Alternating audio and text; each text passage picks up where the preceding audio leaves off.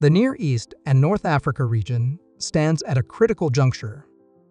Over the past 70 years, its population has surged sixfold projected to reach 633 million by 2050. Although agriculture sustains rural economies contributing 13% to the GDP and providing 38% of jobs in the NENA region. Climate change and urban migration put agri-food systems under significant stress.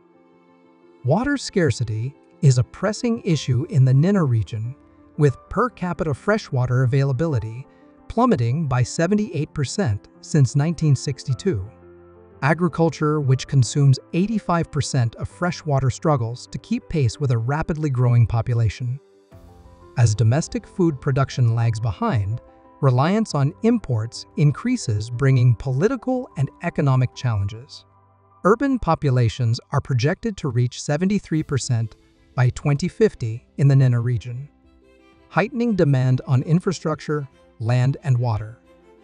Without intervention, we risk losing valuable agricultural land to urban expansion. Transforming our agri-food systems means viewing them as integrated entities that balance urban and rural needs. Urban cities can foster resilience by reconnecting with rural areas, ensuring a steady supply of fresh, locally sourced food.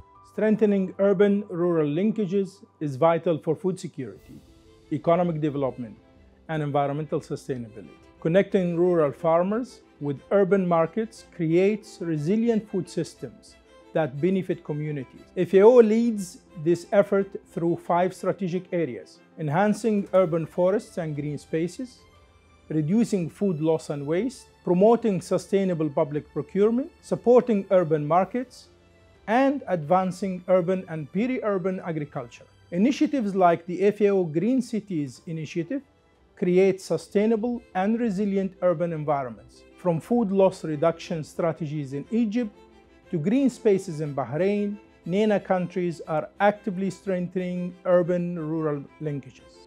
Focusing on the urban-rural interface with innovative technologies and nature-based solutions is vital.